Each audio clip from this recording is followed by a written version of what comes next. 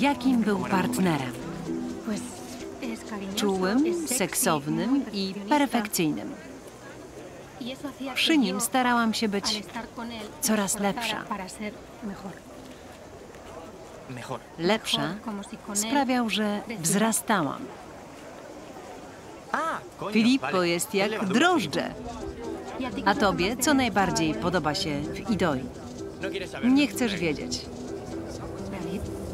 Sexo. Seks. No, to nie chcę. Źle się wyraziłam. Wręcz przeciwnie. Co jest? Seks był najlepszą rzeczą w waszym związku? Dice I mówi to była dziewczyna pana. Drożdżaka. Tak. Seks.